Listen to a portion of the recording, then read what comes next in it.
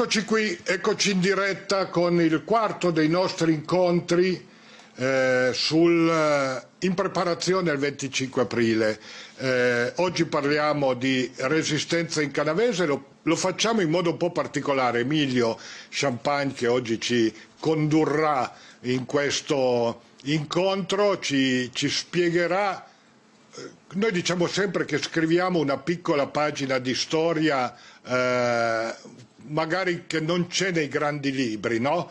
E, e, così faremo oggi con Emilio eh, per finire poi eh, con Diego che è collegato con noi, ormai Diego è la nostra guida virtuale anche oltre che fisica e quindi eh, che ci guiderà poi il 24 aprile in quella che è la resistenza di massa con un'attualizzazione. Oggi però parliamo di Canavese, parliamo di resistenza in Canavese, di una resistenza Emilio che comincia prima che cominci poi quella che noi conosciamo come resistenza. Ci sono delle bellissime, delle bellissime storie. Eh, ne vorrei solo, ne racconto solo una, per esempio, no? che, che, dà il significato di cosa voleva dire, voleva dire essere antifascisti. Cioè a Feletto, per esempio, durante una, eh, nel 1900, 1900 adesso 38-39, non, la data non me la ricordo, durante una festa di matrimonio eh, l'orchestra suona, poi arriva tardi, si fanno tardi, 10, 11, alle 11 si mettono a cantare Bandiera Rossa. Canteranno Bandiera Rossa 10-12 persone a squarciagola fino alla fine, il giorno dopo vengono arrestati, vengono condannati a molti anni di confino e spediti, e spediti in Calabria in, una, in un posto sconosciuto, cioè solo per aver cantato una, una canzone.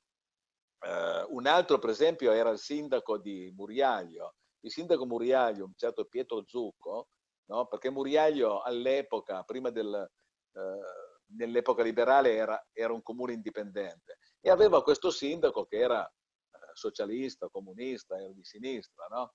E quando poi durante il fascismo lo, viene attaccato, viene anche fatto bere l'olio di ricino, e lo picchiano, eccetera. No? Però lui non si arrende mai, non si arrende mai e ogni primo maggio, insieme a un suo compagno di, di Silio, il compagno di Silio sale a Muriaglio e vanno alla trattoria e, e ogni primo maggio festeggiano con un bel pranzo il primo maggio.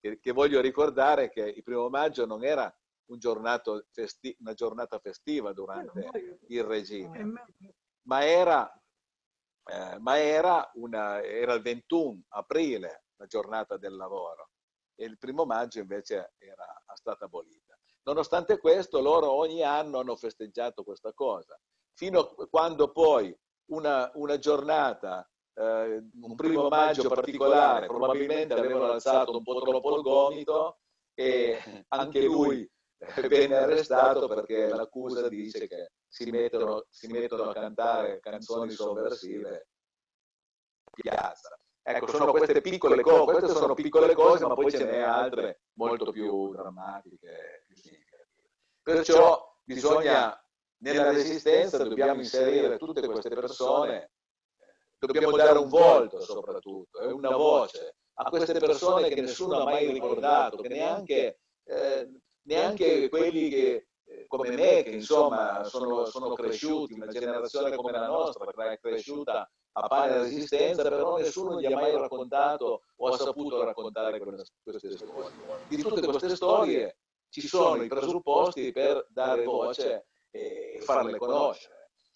È una, è una, resistenza, scusa, è una resistenza che è partita prima della guerra, non, qui non parliamo di guerra. E non è solo una resistenza passiva, una resistenza attiva dove la gente ha pagato, ma ha pagato duramente, ma duramente eh, con prigioni, con percorse, con percorse e tutte. Perciò questo vanno ricordare.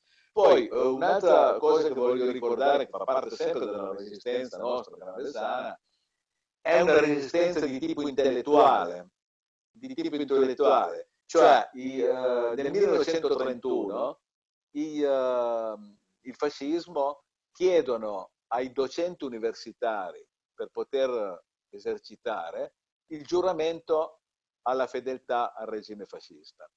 Su 1250 docenti, no, soltanto 12 si rifiutarono di, di giurare fedeltà e fra questi 12, tre, ben 3 su 12 erano canavesani. E dobbiamo ricordarli, erano due, tre intellettuali di primo livello, era, era Francesco, eh, Francesco Ruffino ed Edoardo Ruffino. Erano padre e figlio, ma entrambi professori liberali, eh, persone molto integre, corrette nei loro principi e quindi si rifiutarono e persero il posto, non poterono più insegnare con un grande sacrificio. Noi invece a, in Alto Canavese abbiamo, abbiamo Piero Martinetti, Piero Martinetti un altro che si rifiutò di, di prestare questo giuramento e venne esautorato dalla, dalla cattedra di filosofia eh, che teneva a Milano. Martinetti poi morirà nel 42 a Castellamonte, Martinetti ha ricordato Castellamonte un po' dappertutto, eh, però ecco, eh, poi questi sono quelli noti, ci saranno altri eh, molto meno importanti che però hanno, hanno il, con il loro atteggiamento hanno fatto un, un atteggiamento contro il, fas, il, fascismo. Questi erano quelli famosi. Poi vi erano una, una, una discreta massa di persone semplici che, che si opposero al fascismo in maniera, in maniera eh, passiva, indiretta, non si espo- magari rifiutavano la tessera. Non, io conosco molti che non hanno, la, non hanno, voluto prendere la tessera e per quello sono, hanno perso il posto di lavoro, soprattutto i dipendenti comunali, chi aveva un, uh, un rapporto con, con, il comune o con uh, lo Stato, non prendere la testa voleva già dire eh, autoescluderti. Perciò anche solo questo piccolo atto, o di non mettere la camicia nera, era già un, un piccolo atto che era già una resistenza importante. Eh, a Castellamonte abbiamo il fatto di uno che, che, non ha messo la camicia nera e non si è tolto il cappello quando passava il corteo fascista ed è stato schiaffeggiato e manganellato per quello. No? e, e poi lui se n'è ricordato e nel 1945 è andato a prendere quello che è stato manganellato e gli ha restituito eh, le cose ed è stata un po' l'unica, l'unica violenza eh, diciamo così che c'è stato ma gli è andata ancora bene a altri è andata molto peggio. Ecco per dire il clima sì, Perciò, questo era già un clima che si respirava prima della guerra all'avvento del fascismo. quindi c'era, noi parliamo di resistenza normalmente fra il 43 e il 45 e, e invece, e inve, no no, ma noi ne parliamo per abitudine, ma non è quella solo la resistenza, la resistenza non è, comincia non è solo quella e direi anche che qualitativamente eh, io apprezzo molto di più l'altra perché l'altra era al di fuori di ogni dubbio, eh. eh cioè se i partigiani poi su, sul carro del vincitore sono saliti in tantissimi, no? È sempre stata una scelta durissima fare il partigiano, poi lo vedremo, no? Però, insomma, gli ultimi giorni è chiaro che sono aumentati tantissimi, no? Perché era molto, molto più facile. Ma farlo quando c'era il regime e tutti, eh, la maggioranza del popolo italiano lo seguiva, perché questo va anche detto, perché il fascismo è stato comunque popolare e eh, è sostenuto dalla, dalla folla. Ecco, eh, il, il, fascismo distrugge quei partiti durante gli anni del fascismo, dal 20 al 40, praticamente vengono distrutti i partiti storici, no? il Partito Popolare, il Partito Liberale, eh, gli stessi cattolici, eh, l'azione cattolica viene vista di, di cattivo occhio e, e, viene perché fa concorrenza con il Balilla, con la gioventù e quindi viene, viene annichilita, diciamo. No? Eh, l'unico che resiste in forma clandestina è un po' il Partito Comunista perché aveva una struttura eh, militare rivoluzionaria un po' che si è, si è adattata al clima, al clima, perciò ha conservato un embrione di organizzazione sul territorio. Quel piccolo embrione che, che, che permetteva di fare delle cose eh, eclatanti ma prive molto significativi ma prive di contenuto pratico e politico. Per esempio, eh, noi abbiamo a Valperga, durante un convegno fascista degli anni, eh, fine anni 20, qualcuno andò, staccò la luce, eh, tagliò i fili della corrente e rimasero tutti al buio. E naturalmente erano questi, ma eh, non è che però la gente ne parlava e aveva il sentore che c'era comunque qualcuno che non andava. Un altro fatto a, a Pont, eh, a Pont un primo maggio eh, si arrampicano sopra, sopra, a un trariccio della tensione e mettono una bandiera rossa in mezzo ai, ai fili della corrente, in maniera che al mattino tutti si svegliano e vedono e vedono questa, questa bandiera, si ricordano del primo maggio, praticamente perché, ripeto, era abolito e si festeggiava il 21, al 21 aprile, festa del lavoro, anniversario della fondazione, della fondazione di Roma, e dovettero staccare la corrente che portava alla manifattura, alla, alla grande manifattura, e per qualche minuto, eh, per mezz'ora o più, gli operai dovettero fermarsi dal lavoro perché, per poter levare questo drappo rosso che era stato messo. Ecco, sono queste le uniche, e, e ripeto, molto simboliche manifestazioni che abbiamo durante però sono significative perché come dicevi tu intanto sono atti pratici e poi comunque era un segno, è un segno del quale la gente parlava perché ovviamente quando poi devi smettere di lavorare per mezz'ora ti chiedi perché quando manca la luce eh, le voci girano. Quindi parliamo di una resistenza che c'era e, e che boh, sui libri non troviamo se non per chi come te, come voi di Terra Mia fa queste ricerche. Quindi è partita da lì, questo è già un, un, un tassello importante. È un tassello importante che spero eh, al più presto, con l'aiuto dei miei compagni di Terra Mia, del professor Attilio Perotti e di altri, eh, mettiamo, il materiale l'abbiamo tutto, bisogna solo riordinarlo, metterlo lì e pubblicarlo, renderlo, renderlo fruibile. E sarà veramente, veramente una cosa, una grande novità e un tassello importante che si aggiungerà alla storia canavesana. Perché comunque il periodo fascista bisogna studiarlo, perché è un, comunque un periodo storico che va, eh, che va, va, va indagato, va, ma anche perché come, come giustamente... come è stato fatto finora, noi non troviamo certo. niente, invece no, va raccontato, storicamente bisogna raccontare. Ma anche perché, come dicevi tu, il periodo fascista ha avuto un momento di grande popolarità, era appoggiato dalla stragrande maggioranza del paese, oggi sono tutti antifascisti, ma mm, non ci dimentichiamo che negli anni 30 eh, il partito fascista dava molto a molti che appoggiavano questa linea, insomma, forse anche stufi di quello che era stato fatto prima, eh? una reazione, oggi potremmo dire una reazione populista a quella che erano stati i governi precedenti, forse. I, uh, comunque i piemontesi in generale e i canavesani in particolare eh, sono sempre stati molto freddi, ma, ma, non solo contro quel fascio. Cioè il canavesano è molto individualista, è molto...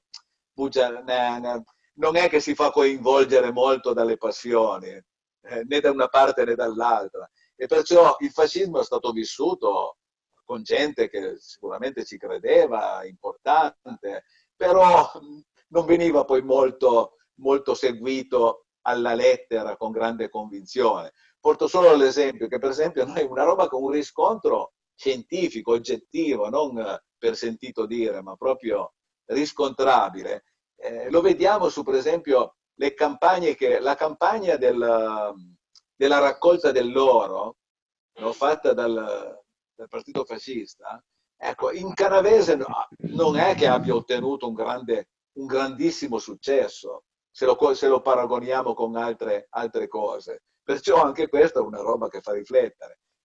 Eh, la campagna, per esempio, di, di, fare molti figli, quello di le, famiglie numerose, di incrementare le nascite perché l'Italia aveva bisogno di soldati, il canavese non solo non aderì, ma regredì. Se noi guardiamo, io ho guardato le, le, i risultati delle anagrafe di diversi paesi più grandi, Castellamonte, Rivarolo, Bornier di quei periodi, ma, ma, notiamo che non solo le nascite non sono aumentate, ma sono anche leggermente regredite in confronto agli anni del, del primo dopoguerra e del successivo. Perciò è anche questo un elemento da, da considerare e, e, e ha il suo significato.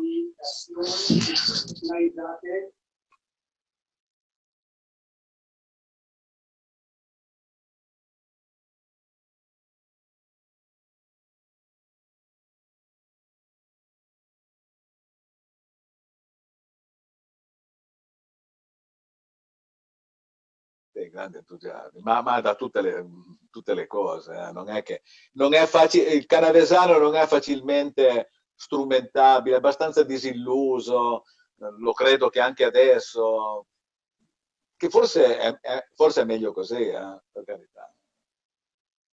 Un legittimo dubbio su tutti bisogna averlo, eh? perché chi non ha dubbi... Eh, Vabbè, io affronterei adesso un problema più la resistenza che conosciamo, certo, l'epopea quello, della... Certo, della... Quello, che, quello che noi conosciamo di più, diciamo. Parlando solo appunto di alcuni aspetti, quelli che ho approfondito eh? perciò non, non, posso essere, non sono uno storico. No, non abbiamo neanche il tempo per farlo. Però, eh, Però eh, l'importante secondo me è la genesi di come si sviluppa, cioè è il, il periodo iniziale e poi quello finale, e, e, poi quello finale vi spiego perché. Comunque, eh, il periodo iniziale è un periodo che caratter eh, caratterizza un po' il canavese e lo differenzia anche in confronto alle altre zone. È per questo che va, uh, va, va valutato.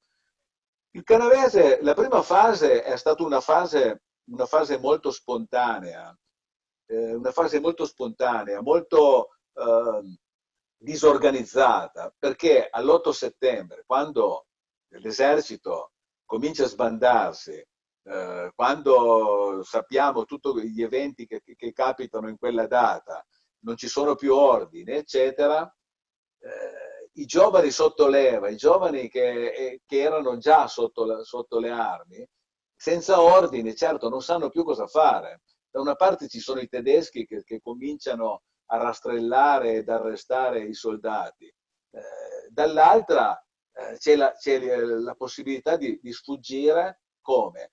Scappando in montagna, nascondendosi. Perciò la prima adesione eh, che, che, vanno eh, sono questi sbandati, queste, sono questi eh, giovani che per rifiutare la, eh, la leva e per andare a fare militari in attesa di tempi migliori, in attesa che i tempi evolvano, perché insomma anche il popolo lo sapeva che gli americani erano già sbarcati, stavano venendo su, la guerra, la sensazione che la guerra stava finendo e finendo in modo tragico per l'Italia eh, ce l'avevano anche con le poche informazioni che, che, che passava il regime. Perciò questo atteggiamento prudenziale di ritirarsi e aspettare quello che capita. No?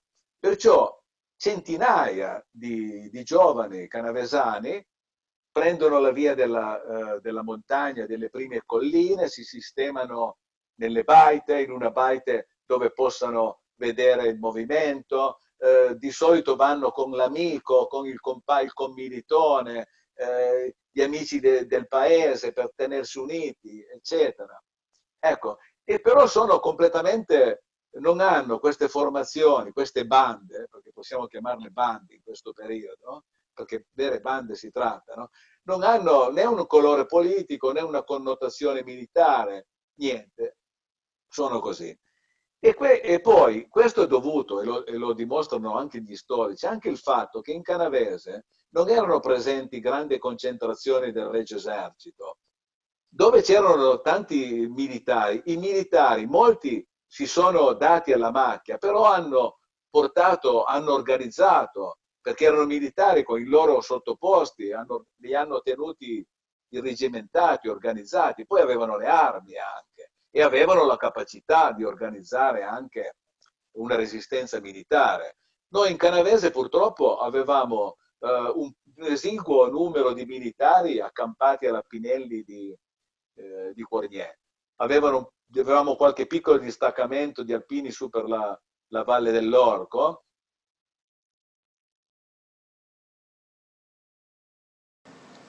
Abbiamo un, un, un, un, attimo di stop nel collegamento con Emilio. Eh, C'è che me si ogni tanto. No, è perché ho... Ok, adesso... Non so come, come, come, come dire le telefonate. Ah, vabbè, capita, dai, va bene. Intanto noi ti sentiamo adesso. Sì, sì, ti sentiamo e ti vediamo. L'immagine è ferma. L'immagine... Eh, noi ti vediamo con un'immagine ferma, però. Eh, ti vediamo... Forse, forse non, non mi vedete più. Eh, eh, infatti, perché abbiamo l'immagine ferma. Eh, vedi, dovresti stoppare il video e eh, far ripartire il video. Eh, questo... Vengo subito. Fai, fai. Eh, adesso, adesso, ci sei, perfetto. Vai pure che ci sei. Vediamo che riesci il telefono. Non so, Ma, sei, mol... sei ricercato nel senso buono, eh. eh Vabbè, dicevo che questa situazione no, soffriva la carenza di militari, perciò di, di preparati. C'erano questi gruppi eh, alla, alla, Pinelli, c'erano questi, eh, te, eh, questi gruppi di, di genio molto importante, un'ottantina di persone a Fabria, con un comandante che era Raffaele Morettini, che aderiranno praticamente in massa alla resistenza e lui diventerà Raffaele Morettini diventerà un tenente, diventerà uno dei capi delle, delle brigate, delle, dei gruppi partigiani. Questi porteranno via tutto il materiale, le radio e, la, e le armi a figlia di Castellamonte dove si stabiliranno. Purtroppo però qualcuno fece, farà la spia e nel giro di una settimana verranno, dovranno scappare e tutto il materiale lo perderanno perché verrà requisito. Però il gruppo poi continuerà e si darà da fare. Ecco, un'altra mancanza eh, che, ci, che, ci, ha penalizzati come canavese era, la, abbiamo detto che i partiti politici sono stati distrutti, ma sono stati un po' distrutti come da tutte le altre parti. Però in canavese non avevamo delle figure, delle figure politiche eh, influenti, in grado di sostituire quelle che, eh, quelle che adesso stavano, stavano andandosene via avevamo alcuni personaggi, eh, come a Castellamonte c'era il notaio Forma, padre, un grande liberale eh, del periodo precedente al, al fascismo, c'era l'avvocato Cresto, eh, socialista, eh, c'era mh, un geometra cibrario a Valperga che era comunista e faceva parte eh, dell'organizzazione, eh, c'erano Cornier un vecchio popolare che era Crestodina, che però era, aveva conservato le, gli ideali del, eh, popolari, eh, c'era, c'era, soprattutto a, a, ad Alpette Battista, Battista Goglio, che è una figura emblematica e veramente importante della resistenza canavesana, eh, perché eh, un uomo che aveva già combattuto il fascismo durante eh, l'avvento negli anni 20, 21, 22, ha patito ferocemente eh, sia in termini personali sia in termini economici i suoi ideali, la, il non aver abbandonato i suoi ideali e perciò appena si apre la possibilità dell'8 settembre cominciano, cominciano a, a, darsi da fare, ad armarsi e, e a formare queste bande che erano già più politicizzate. L'importante era però collegare tutte queste cose. Io vorrei ancora fare una riflessione su questo perché secondo me è molto importante. Perché eh, il periodo che va dal 25 luglio cade il fascismo, l'8 settembre e fino all'inizio del, del 1944 abbiamo sì le bande partigiane, ma abbiamo cosiddette partigiane, ma abbiamo delle bande dove, eh, dove c'è di tutto. Cioè voi dovete capire che quando eh, centinaia e centinaia di persone sono in montagna, sono nelle colline, devono mangiare, devono mangiare. E erano in tanti, armati pochissimi, qualcuno aveva portato le armi di casa, qualche pistola, qualcosa, e bisogna però procurare il mangiare.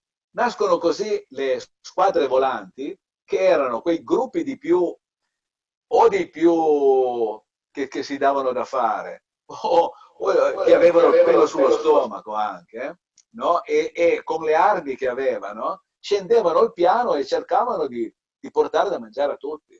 Cioè, facevano qualche razzia, diciamo così, che era giustificata dal fatto che avevano fame. Bisognava fare, eh, contare sull'aiuto dei contadini, di tutto. E in quei periodi che già non si mangiava in famiglia, certo che quando arrivava uno e ti chiedeva per favore dacci due galline e se poi non gliela volevi dare, magari ti puntava anche una pistola, le galline gliela davi, ma non volentieri sicuramente, no?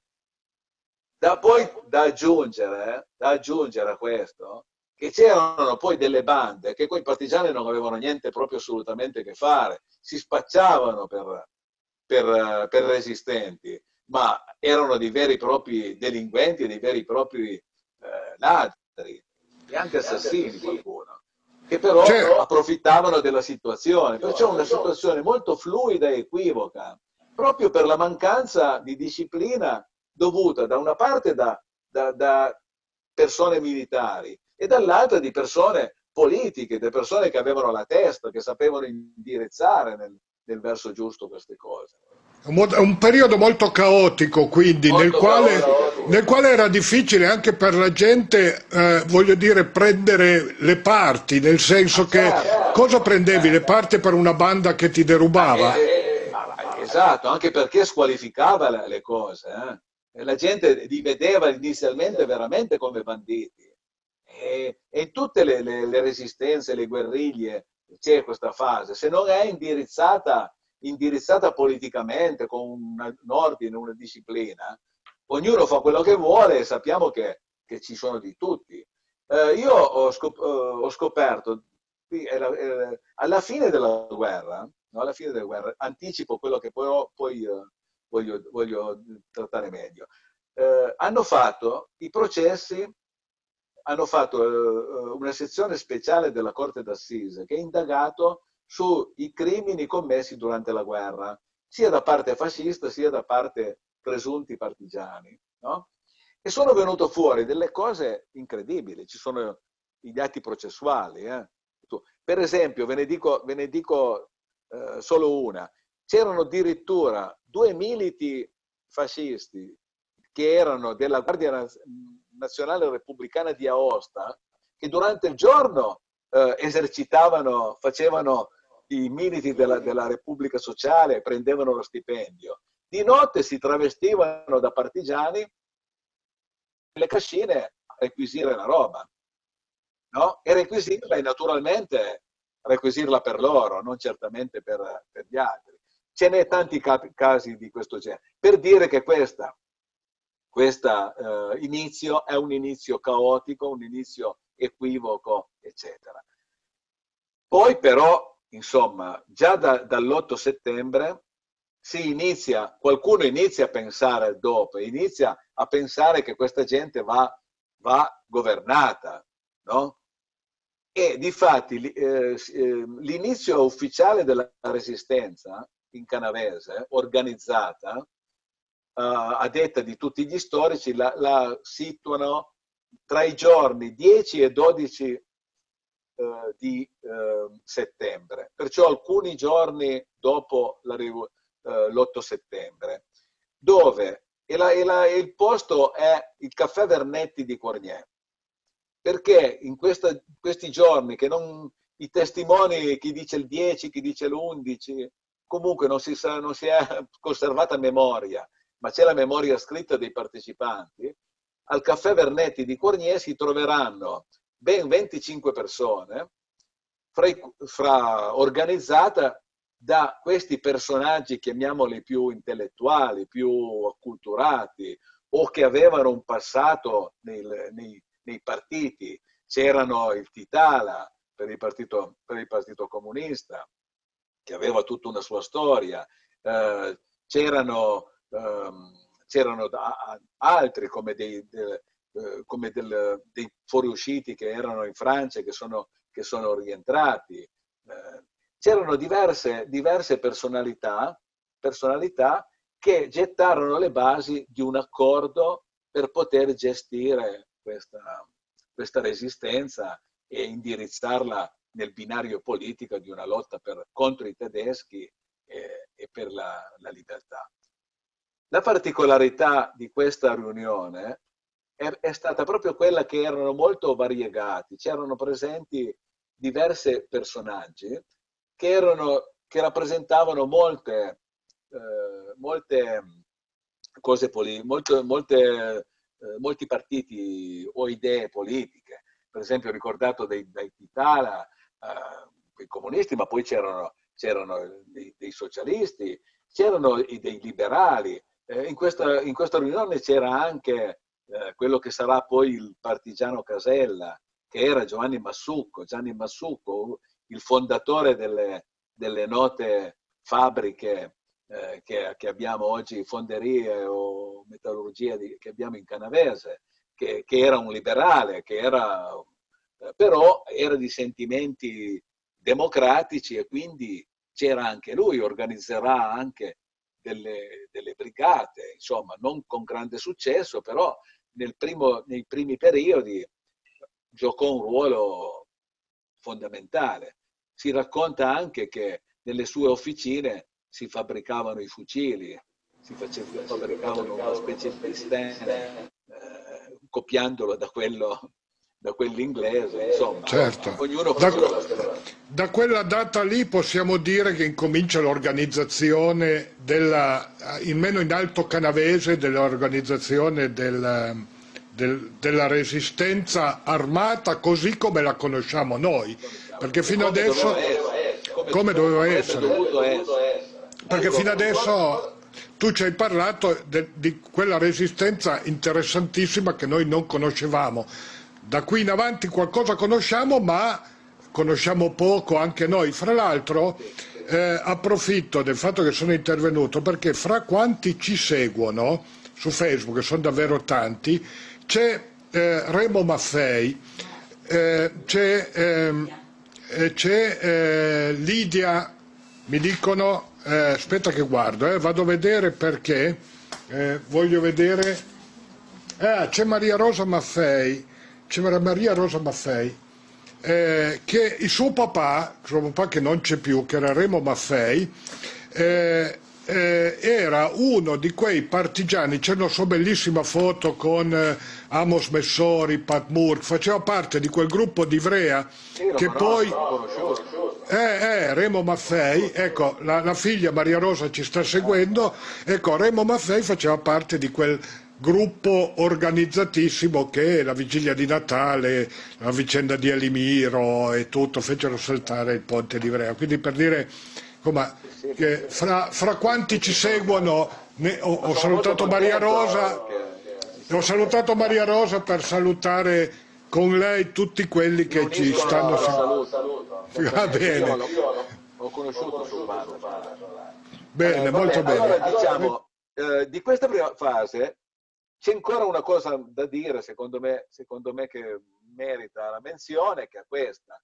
La, dif la differenza con altre zone. Cioè, perché mentre noi siamo in questo stato un po' magmatico di formazione, no? in canavese, divisi da, eh, più che dalle ideologie, divisi da, dai gruppetti, no? da, da, singoli gruppetti che hanno come unico obiettivo sfuggire ai tedeschi e ai rastrellamenti e mangiare tutti i giorni. Hanno solo quello l'obiettivo iniziale, i gruppetti che sono sparsi. Poi c'è chi ci pensa a, co a cominciare a coordinarli, a indirizzarli, a disciplinarli, no? ma non sarà un lavoro facile. Non sarà un lavoro facile. A differenza di altre zone, per esempio della, della, della Val di Lanzo, invece la resistenza, diciamo con la R maiuscola, com comincia molto prima, perché lì erano molto più strutturati, lì c'erano molti militari eh, del quarto corpo d'armata di stanza Venaria che si rifugiano in su. C'erano, c'era la presenza dei partiti come Partito Comunista, Partito Socialista, che erano molto organizzati, le strutture clandestine eh, erano presenti. Perciò diciamo che la resistenza inizia, inizia, con una certa disciplina. Il canavesano, usiamo questa parola che indici, è, è, rimane indisciplinato fino, fino alla fine di, del 43 inizia solo con l'inizio del 43, col, del 44, nella primavera del 44. Cosa avviene nel frattempo? Nel frattempo avviene che eh, questi personaggi che ho accennato prima si danno da fare per, per coordinare questi gruppi e non è facile coordinarli, perché anche perché molti non si vogliono far coordinare, perché in ogni gruppo prevale eh, dei capi il capo più carismatico, quello che ha più coraggio, quello che ha più la parlantina più, più, più efficace, no? E poi quelli che stanno bene, stanno meglio e stanno male. C'è molto cambio eh, tra uno e l'altro, cioè ci sono eh, sfol- ehm, sbandati che cercano di andare in un gruppo perché si sta meno peggio o si sta meglio, perché c'è più da mangiare. Allora ecco che quello che discrimina non è l'appartenenza a un gruppo, l'ideologia o, o, gli obiettivi politici, ma è la pura sopravvivenza. Comunque con, con grandi sacrifici e, e, lotte interne che adesso non, non, affrontiamo, alla fine poi diciamo che col 44 inizia, inizia la, la fase più organizzata, più strutturata, eh, ci sono già le brigate Garibaldi, ci sono le, le Brigate Matteotti, Giustizia e Libertà. Il, eh, mi sembra a febbraio arriva in canavese anche Duccio Galimberti, il quale, il quale convince eh, due o tre eh, noti e importanti partigiani che operano qua, che sono Vincenzo Viano, detto Berandi, e Jimmy Troglia, anche questo bravo e e valoroso partigiano ad aderire alle, alle, brigate, alle brigate giustizia e libertà. E perciò comunque il processo di aggregazione va avanti, anche con delle resistenze e tutto. E allora si comincia a porsi degli obiettivi, non solo sfuggire i tedeschi, ma a fare un'opera di interdizione contro i tedeschi, contro i fascisti e tutto.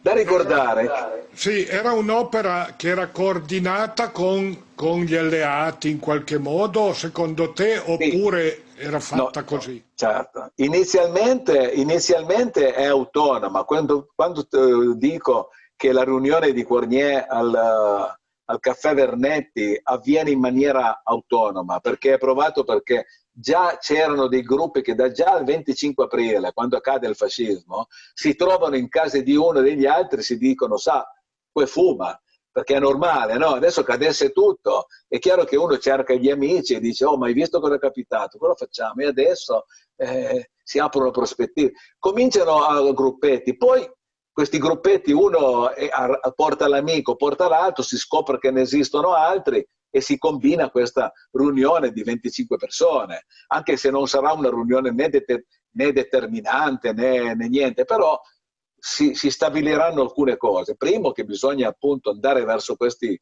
sbandati e organizzarli.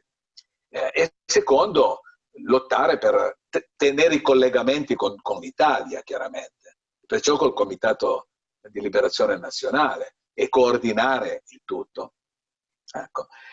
Eh, nel, ah, eh, ah, già alla fine di ottobre si forma la Repubblica Sociale e da novembre escono i bandi di arruolamento delle classi eh, 2000, 1923, 24 e 25.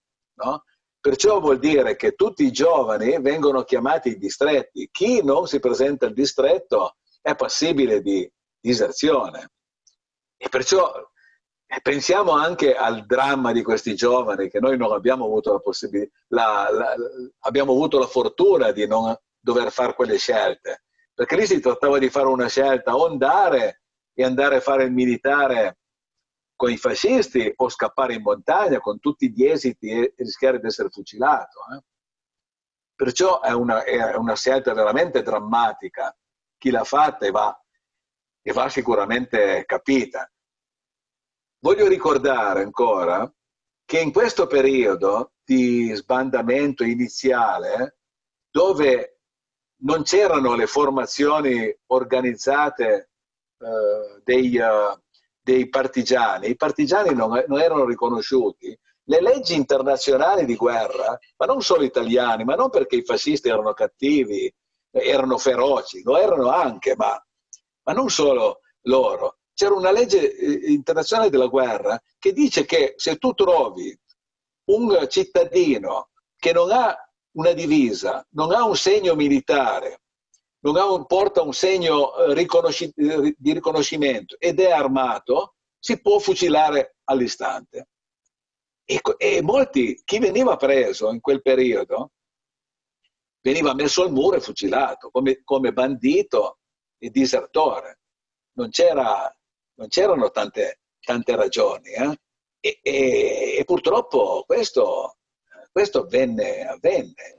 Quando sembra, una poi... stupidaggine, sembra una stupidaggine quella che hai detto, ma era una cosa organizzativamente eh no, molto importante, perché se non una divisa sono un bandito certo. per, per, legge internazionale, non per volontà. Eh, certo, e nessuno poteva, anche dopo, nessuno poteva neanche dirti, dirti ma no, hanno ucciso... E poi lo vediamo, voglio finire con questo, perché secondo me mi, mi ha aperto anche certi spiragli a me, a me, stesso, la mentalità che avevo l'ho un po' modificata e tutto. No? Perciò, eh, come c'era il diritto di rappresaglia, il diritto di rappresaglia, noi, noi celebriamo, certo, hanno, i tedeschi hanno bruciato Feletto, hanno bruciato le case, se, se in una cascina dava ospitalità dei partigiani veniva bruciata, ma questo faceva parte del diritto di rappresaglia che hanno applicato tutti e che hanno applicato gli italiani. Eh? Noi italiani in guerra, nei Balcani o in Grecia o tutto, ne abbiamo combinate forse più dei tedeschi, perciò guardiamoci da, da questo. No? Era, era una, una, legge spietata, eh, ma era così. Diverso poi quando, quando nel 1944 si organizzano bene le brigate, Brigata Matteotti, Brigata, eh, brigata Garibaldi, gli autonomi, eccetera, c'è il Comitato di, di Liberazione Nazionale, c'è il, il, coordinamento con gli alleati, questo è anche importante, il coordinamento con gli alleati, eh, gli alleati ha, hanno, danno riconoscimento ufficiale al Comitato di Liberazione Nazionale e quindi agli aderenti. Il partigiano che, che lotta sotto queste, con queste brigate è sottoposto a tutta una disciplina, però ha il vantaggio che è equiparato a un combattente. A un combattente. Quindi, se anche viene arrestato, non, vi, non deve essere, non può essere fucilato, non può essere, ma può, deve essere imprigionato. Se viene raccolto ferito in uno scontro fuoco, deve essere curato, deve essere portato in un ospedale curato e poi imprigionato. E poi se, se ha fatto delle, delle cose può anche essere in qualche caso fucilato ma c'è tutta una, una, una cosa diversa. E dato a quel punto che i partigiani, quelli veri, eh, io parlo, perché poi si, anche qua bisogna spendere due parole per dire la verità, no? Adesso oramai la possiamo anche dire, che c'erano i partigiani veri c'era anche qualche banda di delinquente che agiva in proprio. Ma questo eh, lo vediamo adesso col coronavirus, c'è chi, chi, chi contrabbanda le, le mascherine o, o questo, figurati in tempo di guerra c'era qualcuno che con la scusa eh, di fare il partigiano faceva quel che voleva, ma questo è un altro discorso che non bisogna confondere. Il partigiano vero doveva, aveva una divisa, quantomeno raffazzonata ma riconoscibile, difatti generalmente portava il fazzoletto, o il fazzoletto rosso, il fazzoletto azzurro, eccetera, o al braccio o a lì, e poi aveva il tesserino militare. Aveva il tesserino che si diceva chi, quale brigata faceva parte. Tu. Ecco, con quelle cose era, era una garanzia, non sicuramente, perché poi in realtà è stata rispettata poco questa cosa. Cioè i fascisti tedeschi non è che andavano molto per il sottile e se avevi un tesserino in tasca non ti sparavano, eh? ne hanno sparato tantissimi. Però alcuni casi dopo la guerra sono stati perseguiti per questo e, e sono stati anche imprigionati, addirittura condannati a morte eh, per aver trasgredito queste, queste cose. Comunque, riprendiamo il filo che è questo. Vado velocemente. Al, in primavera, naturalmente, eh, si comincia già a fare delle azioni, quelle che suggeriscono di disturbo, no? il Comitato di Diversione Nazionale, perché il valore della resistenza era, era, quello tipico della guerriglia, di disturbo, di, di colpisci e scappa, di, di, mordi e fuggi. Perché per questo? Per, per dare fastidio alle truppe che c'erano qua, creare un problema, e tanto è vero che divisioni, intere divisioni tedesche sono state levate dal fronte per reprimere o per contenere la, eh, la, la resistenza delle nostre valli. E quelle truppe che sono state elevate dal, dal fronte eh, sono state elevate grazie, grazie, ai partigiani, grazie alle iniziative che facevano. Eh, capisci? E allora questo è il, è il valore poi della resistenza che alla fine ci ha permesso di sedersi anche fra i vincitori o almeno di, di, di patire meno le sanzioni che, che, comunque ci hanno dato per aver fatto eh, quel che abbiamo l'alleanza eh, con i nazifascisti. Perciò, eh, insomma, intere divisioni combattano insieme ai fascisti, insieme a, al decima MAS, Repubblica Sociale, e poi sono presenti in Canavese quei reparti, che parle, ne parlavamo l'altra volta, tipo Valanga, Monterosa, eh, eh, Sagittario, erano tutti reparti di soldati italiani raffazzonati, recuperati nei, nei campi di, di, concentramento. E qui dobbiamo, due parole l'abbiamo già detto l'altra volta, ma, ma dobbiamo rendere merito a tutti i nostri eh, centinaia di migliaia di, di, di, di soldati catturati dai tedeschi, portati nei campi di concentramento e nonostante gli allettamenti, le, le, le promesse fatte dai fascisti dai tedeschi, non aderirono alla Repubblica Sociale, non si arruolarono nel, nel loro, nei loro reparti. E questo ha fatto sì che, che rimanessero lassù a patire la fame, ma, ma non, non, non, sono qua. I Monterose erano persone invece che avevano aderito, eh, avevano aderito di, anche qua eh, spintaneamente, perché se poi andiamo a vedere i singoli casi, troviamo dei casi anche patetici e, e io questi li ho, li ho trovati, cioè quando dopo la guerra gli chiedono uno durante un processo, ma tu sei andato nella Monterosa, ma perché sei andato? Mi ha detto perché mi hanno preso i tedeschi, mi hanno detto, dato l'alternativa, o ti arruoli eh, e stai qua in Italia e ti paghiamo anche, o te ne vai, o vai prigioniero in Germania e di lui diceva io ho, ho, la famiglia e due figli, ho fatto quella scelta lì e dagli torto anche, cioè, eh, non siamo tutti degli eroi, eh? cioè, perciò molti erano stati anche costretti, difatti molti poi eh, abbandoneranno anche, scapperanno con i partigiani, cioè per dire, era una cosa diversa invece erano le brigate, le camicie nere, la decima MAS, la Guardia Nazionale Repubblicana, che erano, avevano una motivazione ideologica molto, molto forte. E ecco, quindi avevano fatto una scelta di campo proprio, quindi per loro... Avevano fatto una scelta, scelta sì. Quella era, era, una scelta, non so fino a che punto, ideologica, però anche su questo c'è da dire una cosa, no? eh, il mio amico Lino Fogliasso un giorno mi ha regalato, una, perché era riferito a Castellamone, mi ha regalato una, un foglio, una busta paga di un milite della decima MAS di Stanza Castellamonte, era proprio di Stanza Castellamonte, c'era il comandante, e per questo che me l'ha, me l'ha regalato e dire, tieni la ticket a Castellamonte. Comunque in questa busta paga no, c'è una cifra, eh, indennità e tutto, di, di, non solo di tutto rispetto, ma che fa, fa drizzare i, i capelli.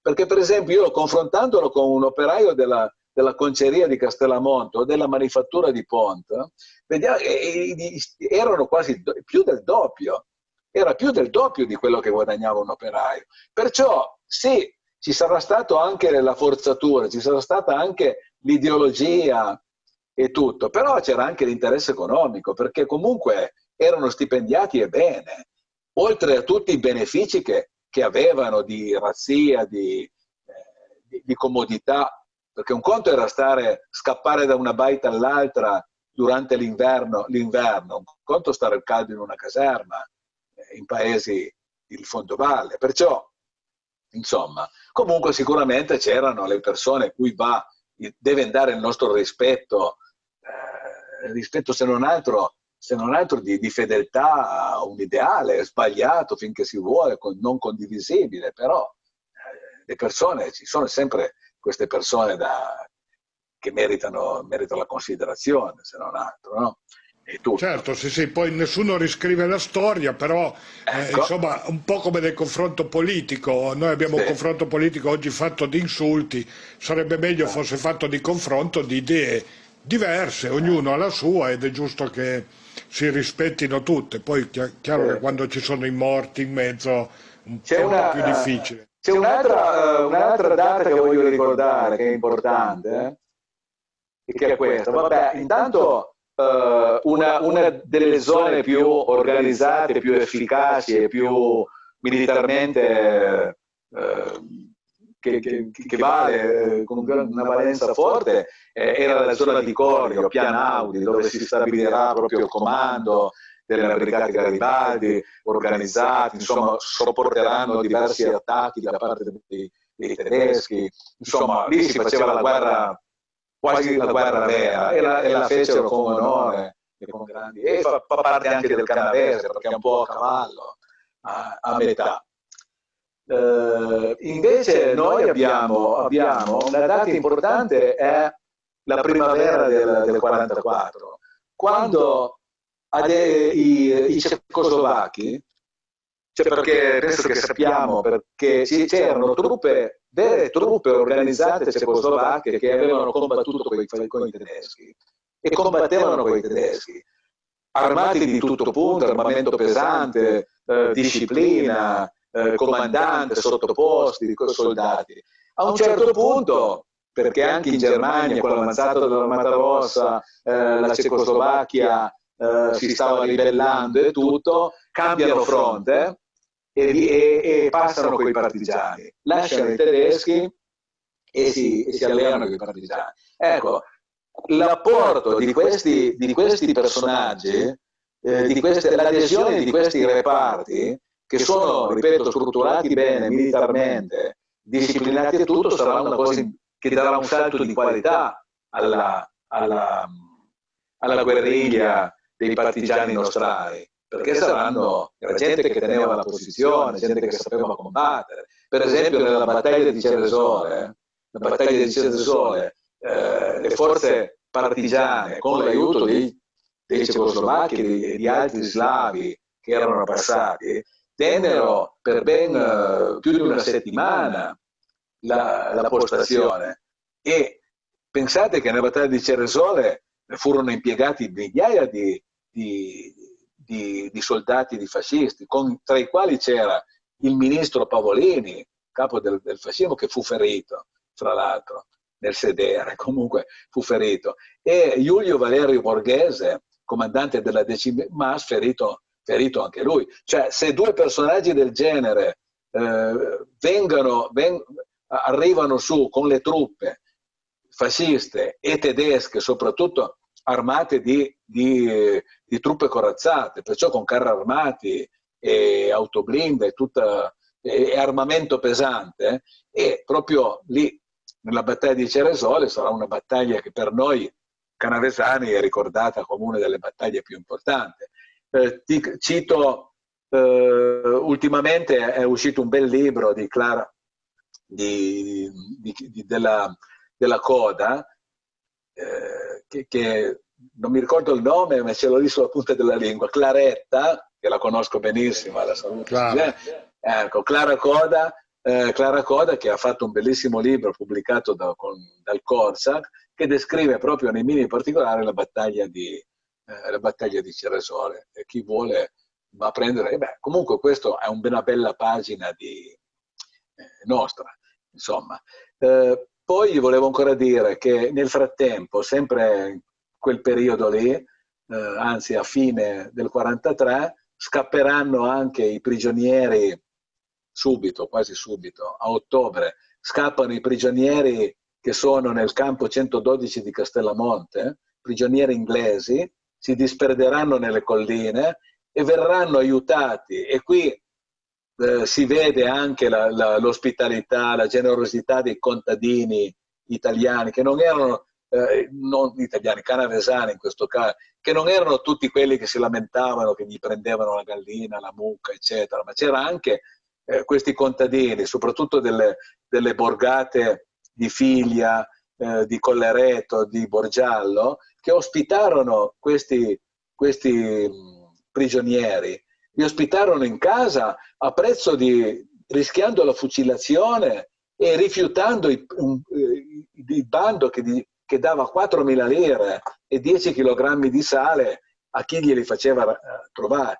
Ecco, a parte qualche spia, pochissimi, ma veramente numeri di una mano, tutti li, li tennero in casa e poi questi, questi inglesi saranno quelli che si incamminarono verso la Galizia e che ci sarà la tragedia famosa perché gran parte di loro non riuscirono a passare e morirono poi sotto la valanga. Però, volevano, volevano, raggiungere la Francia per raggiungere, raggiungere la Francia per, tornare, perché c'erano già gli inglesi. Però questa è una bella pagina, una bella pagina che, che, che che rende onore ai nostri contadini, contadini canavesani, che lì si trattava veramente di, di, di rischiare la vita eh?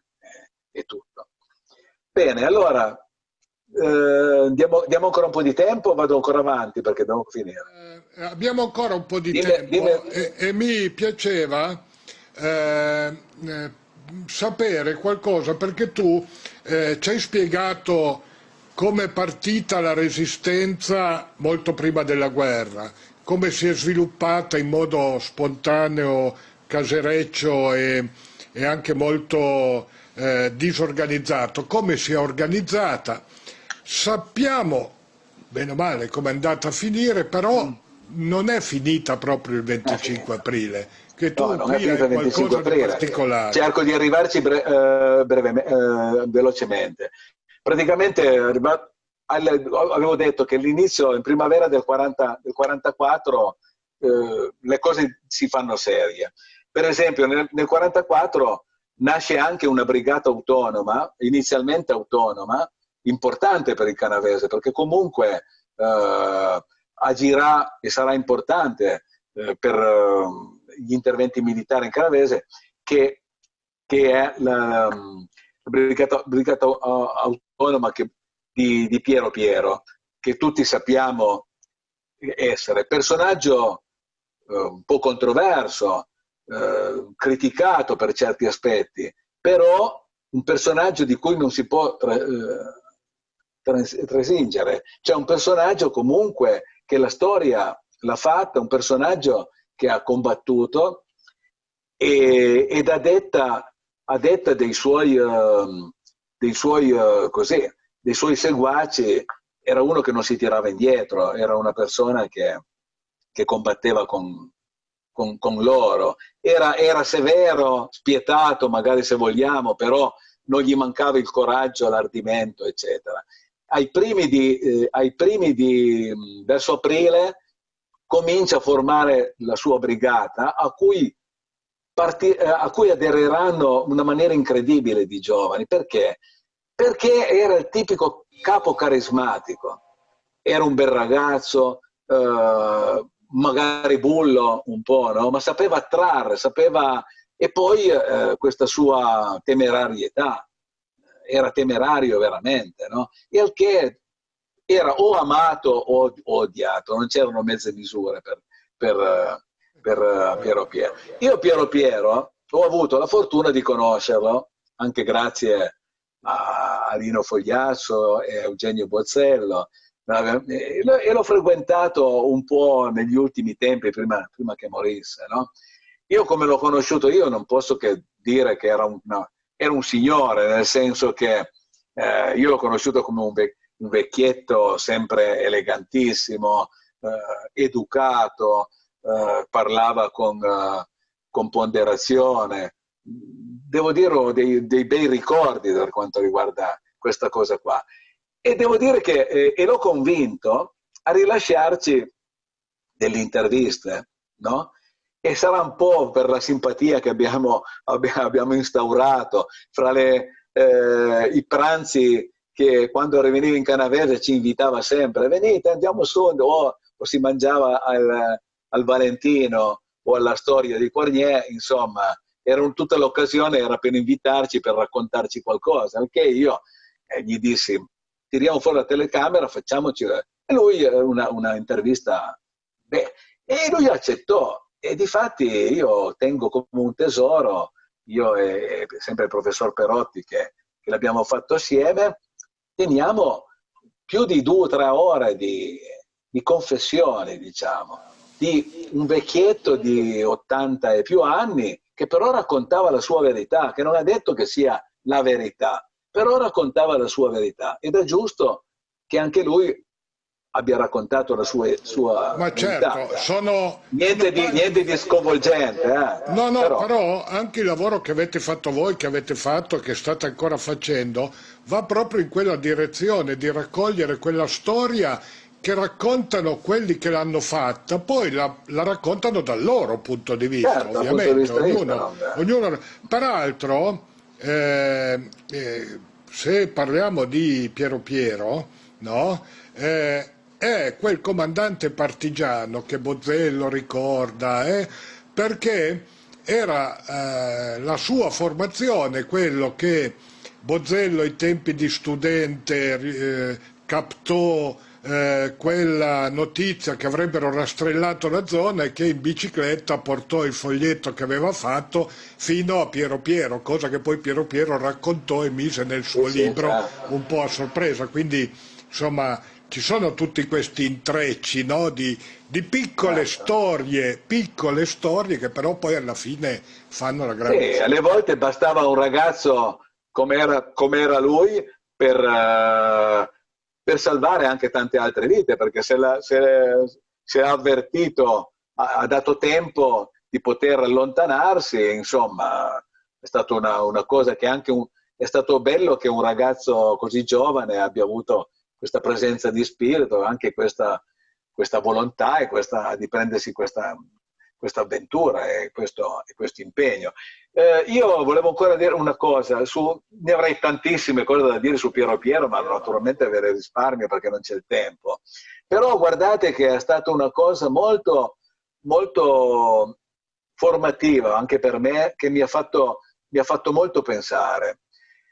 Io ripeto, eh, un conto sono i racconti. Io tante volte pensavo, sapevo anche tutte le critiche che aveva ricevute, però e, e lo incalzavo anche in, con le domande su questi aspetti, no?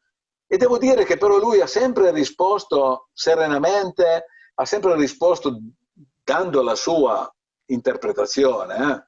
che, dando la sua interpretazione, ma dandola, non sottraendosi, eh, anzi dimostrando in certi, in certi momenti anche uh, dell'autocritica, facendo anche dell'autocritica verso, verso cose che ne aveva fatto.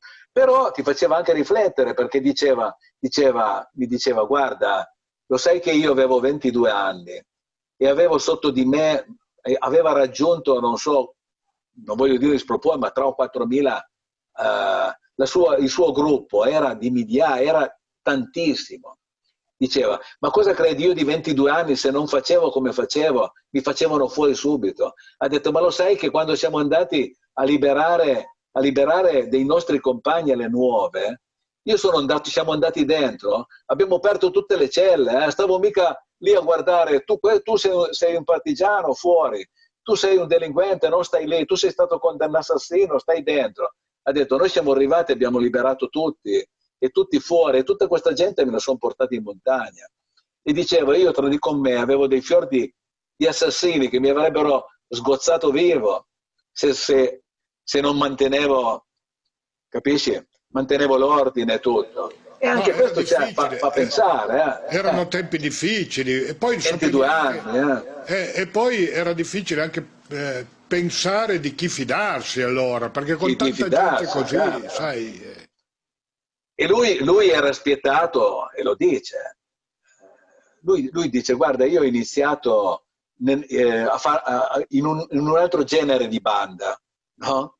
E lo, lo ricorda libro. Ero in un'altra banda a Torino che facevamo altre cose, no? Poi un giorno abbiamo bisticciato con dei tedeschi per questioni di in una balera e io sono andato e gli ho dato fuoco alla, alla macchina dei tedeschi. Da allora mi hanno, eh, mi hanno puntato, ho dovuto scappare. E ha dovuto scappare anche lui in montagna e ha, dovuto fare il par- ha fatto il partigiano, no? E poi l'ha fatto anche militarmente bene, perché militarmente l'ha fatto, l'ha fatto bene, perché eh, lui quando, quando faceva se le portava a compimento le cose, non, non non sparava due colpi e poi magari scappava, no? certo, e per questo sì. Eh, lui, lui è uno di quelli che l'ha combattuto. è controverso, eh? è controverso Sì, sì. in tante cose. eh. Ma sono molti i personaggi controversi, però sai, eh, come diciamo sempre noi, e tu lo sai benissimo, eh, noi, la dobbia- noi dobbiamo raccontare pagine di storia, metterle lì,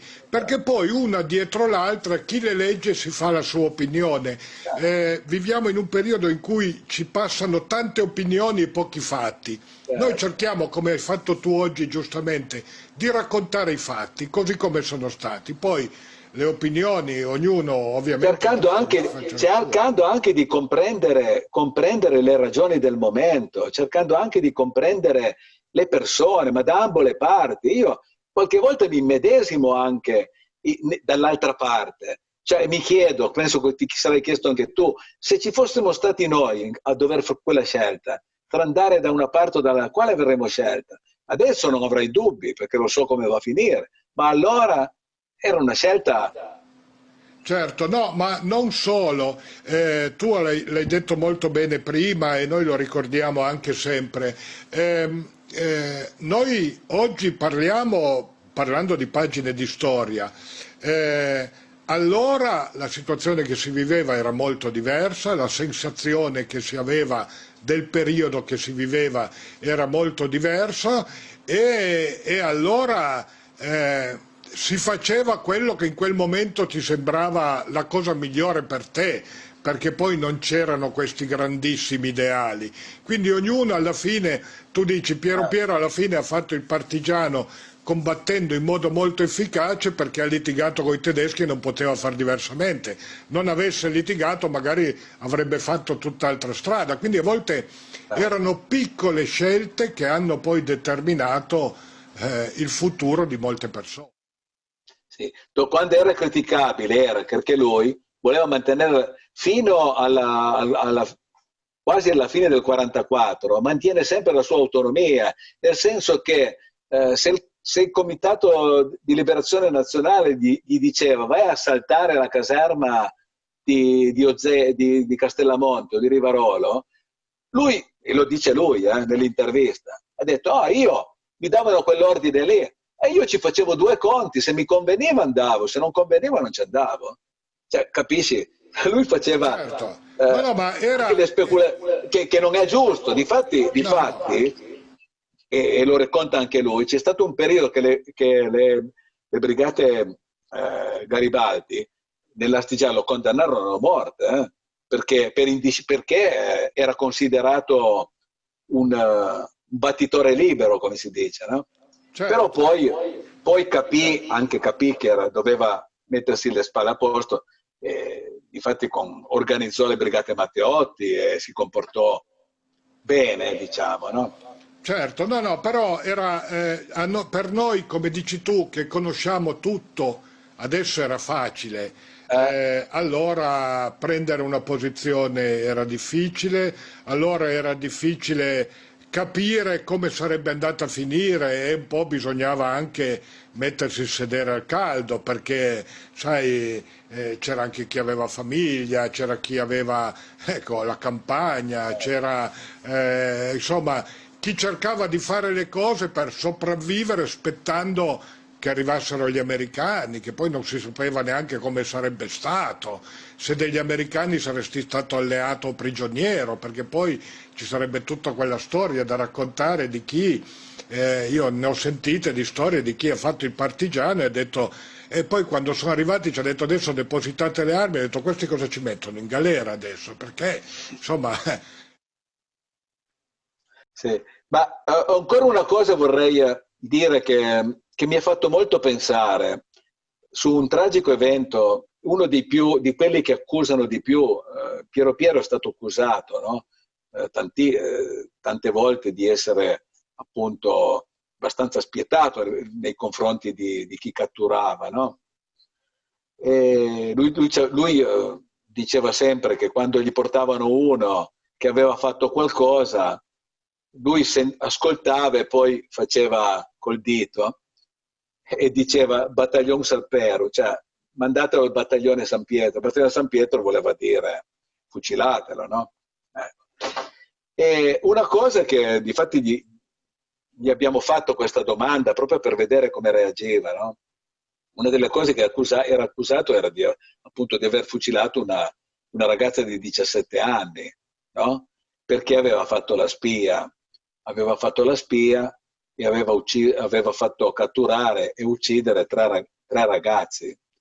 Lei l'ha fatto involontariamente perché passando questi tre ragazzi avevano una macchina ferma, si è fermata la macchina alla, al concessionario Pagliero, no?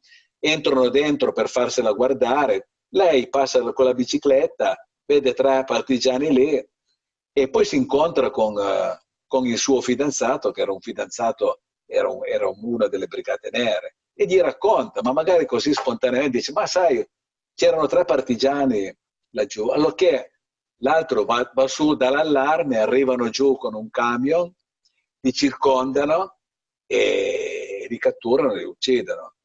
No? Avevano tutti, ce n'era uno di 17 anni, 18, 20 anni, anche loro giovanissimi, no? C'è una roba veramente tragica.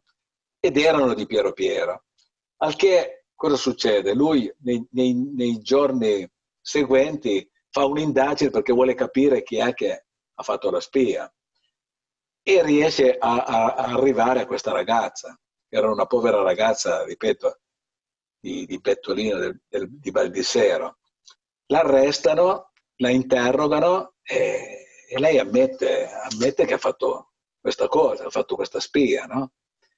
Allora, e lui è l'unica volta che l'ho visto veramente addolorato, addolorato e non sicuro di sé. Lui, lui, ripeteva, se fossi adesso non farei mai più una roba del genere, ho capito, ho sbagliato, è stata una cosa, però, però diceva, eh, diceva eh, c'era uno, c'era la legge che chi faceva la spia veniva, doveva essere passato per le armi e questa era proprio una legge uguale come il diritto di rappresaglia. C'era che se i partigiani scoprivano uno che faceva la spia e che uccidere, ha fatto uccidere uno di loro, c'era un breve processo e la fucilazione, perciò non c'era problema. La ragazza certamente era un, tra- un, era un caso un po' più diverso, no? E lui diceva, e io ho deciso, ma sai perché ho deciso? Ha detto, ho deciso di farlo. E sai perché ho deciso con grande sanguinamento del cuore? Ho deciso perché dall'altra camera, diceva, c'erano tre famiglie che piangevano tre ragazzi come lei, capisci? diceva nell'altra famiglia c'era, c'era, i tre morti avevano di 17, 20 anni, erano ragazzi come lei. Ecco il dramma della guerra, no? questo certo, è il vero dramma della, della, guerra civile. E lui diceva, io avevo, avevo, quelle famiglie là che urlavano che volevano ammazzarla con le sue mani, con le loro mani, no? E di qua avevo sta, povere, sta poveretta e tutto. E cosa, cosa fare? Certo. Purtroppo scelte, scelse quella cosa che lui, lui diceva non lo farai mai più ma sai, poi... Che non è certamente edificante, non è, non è una cosa che deve vantarsi. No, però sai, non lo faresti più adesso. Io aggiungerei una cosa, che eh, quando i tuoi uomini ti trovano debole e come dici tu hai migliaia di uomini esatto. sotto di te e alcuni sono anche dei delinquenti, eh, eh, allora ti, ti, dicono, siccome una ragazza non la mandi a morte, ti trovano debole, tu hai finito di avere l'autorità. Eh. E quando diciamo che la guerra è brutta, questo episodio che tu ci hai raccontato in chiusura di questo incontro ci dà l'immagine di quanto sia brutta la guerra, certo, cioè di certo. quanto la guerra eh, non porti bene a nessuno, eh, indipendentemente no, no, dalla parte veramente, E soprattutto una guerra civile, una guerra civile forse è ancora peggio di tutte le altre. Comunque poi arriviamo, con varie vicende, arriviamo alla liberazione, come si sa il canadese non, non fu liberato il 25 aprile, ma il 25 aprile ci fu, ci fu l'insurrezione nazionale a Torino e guarda caso qui i primi eh, eh, Piero Piero andò a Torino no? e il primo autoblinda con il primo americano sopra c'era, c'era Piero Piero vicino cioè, per dirti il personaggio dove erano riusciti sì, no? Certo. Era, quando entra lui va incontro agli americani e riesce a salire eh, su, insieme al comandante americano e, e, e fare l'ingresso trionfale a Torino sopra ci sono le foto eh? cioè per dire, era, poi lui stesso diceva ma io ero matto, ero, uh, ero un delinquente, era, aveva queste, queste, cose. Lui dice io quando ho fatto la liberazione di Torino ho telefonato all'hotel, all'hotel ambasciatori e ho detto preparatemi l'acqua, voglio la stanza che andava Mussolini, preparatemi il bagno caldo perché voglio fare il bagno, se no vengo lì e faccio una strage, cioè per dire il tipo, il personaggio, no? il personaggio eh. certo, sì, sì. Era, è certo che un personaggio così non può che essere divisivo, perciò ha lasciato degli, dei brutti ricordi in canavese, degli strascici, e però, però bisogna dargli atto quello che a Castellamonte eh, ha tenuto la piazza, ah, insomma, è la, è la guerra, è diciamo sempre che è uno dei personaggi guerra. della guerra, i grandi personaggi della guerra, ma non, adesso non dobbiamo scomodare la storia, ma da Napoleone Bonaparte, Carlo Magno a, ai faraoni, insomma tutti i grandi personaggi, eh, bene o male, hanno i loro pro, i loro contro e sono stati, esatto. come dicevi tu, o amati o odiati, solo i mediocri piacciono a tutti. Ecco. Certo. Uh, un'ultimissima cosa, ma proprio eh, rapida, anche se magari se c'è la possibilità un'altra volta di parlarne. Una ricerca che ho incominciato a fare già da anni, eh, grazie anche alla, alla collaborazione di, di, un bravo compagno di, di, Ivrea che risponde al nome di Renzo Sarteur, che se mi sente lo saluto, eh, era di recuperare, allora voi sapete che finita la, la, la liberazione, tutti scendono giù dalle montagne, no?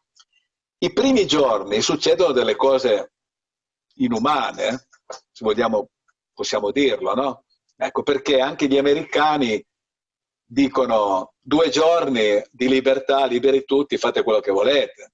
E purtroppo di fare quello che volete c'è qualcuno che aveva dei, dei conti da saldare, aveva tanti conti da saldare. Dei, c'era qualcuno che aveva perso, gli avevano ucciso il padre, gli avevano ucciso i fratelli, anche robe vecchie dal 1922, eh? capisci?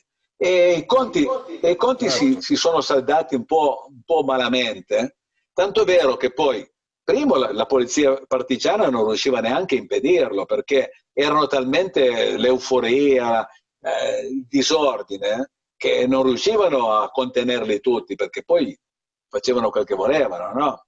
Eh, eh, si racconta che per esempio a Cornier uno che anni prima aveva avuto l'olio di ricino, aveva imbottigliato quello che gli era uscito e l'aveva tenuto per il 25 aprile, che poi gliel'ha fatto bere a chi glielo ha dato, ma sono un po' leggende metropolitane, anche brutte, però succedeva anche questo. Allora, per impedire questo, cosa fanno?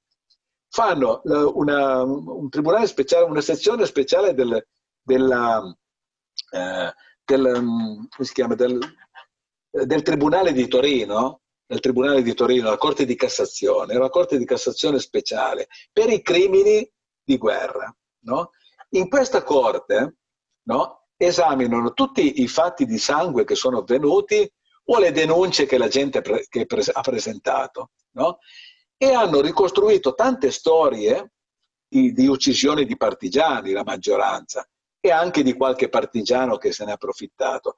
Tutti questi incartamenti, questi processi, no? ce n'è una pila, una pila così, che io li ho, ho recuperati e, e sto studiandoli, ma c'è delle cose interessantissime, interessantissime perché vengono ricostruiti certi, certi eh, fatti proprio per filo e per segno, con i testimoni, con tutto, e perciò è una, una fonte veramente importante di, di storia che ti fa riflettere e ti fa capire di capire tante cose, ma certo, credo che sia giusto questa, parlarne un'altra volta. Anche questa è la storia, però eh, anche questa è una storia che bisognerebbe conoscere, perché altrimenti... Sì, perché eh, questo non se ne parla, non se ne è mai parlato. Peri- se tu noti, il periodo 45-47, la storia locale non ne parla. Siamo un po' in chiusura, Emilio. Eh, abbiamo parlato un po' di questo periodo della resistenza prendendolo molto alla lontana e arrivando fino a un capitolo che stai ancora studiando. Magari troviamo poi l'occasione per capire, eh, abbiamo detto che dovremmo studiare meglio il fascismo per capire cosa è stato e forse dovremmo studiare anche che cosa è successo dopo il 25 aprile, magari per capire che cosa è successo dopo e che cosa sta ancora succedendo. Sì, io credo che è una cosa che va fatta. Eh, le possibilità eh, documentali ci sono, ci va solo tanto tanto lavoro per, per analizzarle, per riordinarle, ma è un periodo veramente eh, che poi caratterizz- caratterizzerà anche tutta l'Italia, perché per esempio eh, tutti i processi che verranno intentati contro eh, contro gli autori di crimini, di cose, cose, varie, andranno tutti a finire in questa maniera. La, io ho solo quelli della Corte di Assise di Ivrea, no? La, generalmente la, la, la, procedura era questa, riconosciuti colpevoli, condannati a morte, no? poi però c'era tre, tre, gradi di giudizio. Poi il condannato a morte eh, faceva ricorso alla, Cassa di, alla Cassazione di Torino, veniva condannato a 30 anni. No? Intanto aveva salva la vita. Dopodiché eh, a ottobre l'amnistia Togliatti, che amnistia, eh, fece l'amnistia a tutti, destra, sinistra e tutti, e uscirono tutti. E così in quella maniera ci sono dei casi veramente gravi, eh? dei casi che hanno fatto uccidere eh, diverse persone, se la sono, se la sono squagliata con, con niente, con pochi mesi di prigione. Molti sono andati certo. all'estero, scappati in Argentina, eh, cose varie. Ecco, questa è una pagina un po' vergognosa nostra, perché guardate che in Germania la denazificazione del paese avvenne, ma molto più rigidamente e con, e con molta più severità che da noi. Negli anni 50, nella Repubblica Federale Tedesca, c'erano, c'erano ancora migliaia di, di detenuti nazisti. Noi non avevamo più nessuno. Noi, eh, noi eh, certo. e questo... La scelta, la, la, la scelta fatta di eh, pacificare fu... il paese eh, liberando tutti ha cancellato però pagine di storia che forse adesso bisognerebbe recuperarle, perché esatto. la gente esatto. poi si è dimenticato di quello. Sì, bisognava conciliare, anche perché noi non avevamo i funzionari di riserva, eh. noi noi per, per eh, far ripartire lo Stato avevamo bisogno di, dei, dei, vecchi funzionari fascisti che c'erano, non, potevi, non ne avevi uno da sostituirlo. E allora certo. bisognava riciclare tutti, bisognava fare una frettata, una frettata pacificazione, che poi pacificazione non è stata, perché una vera pacificazione doveva trovare dei valori condivisi eh, fra tutti. Invece ha preso delle pieghe diverse, l'abbiamo trattata l'altra volta con Diego, questa, questa vicenda. Certo. E, e sappiamo come è, andata, certo. come è andata a finire. Va bene, io Perfetto. ti ringrazio. Io ti ringrazio, io ringrazio te ovviamente, ringrazio tutti quelli che sono stati con noi e qualcuno se n'è già andato.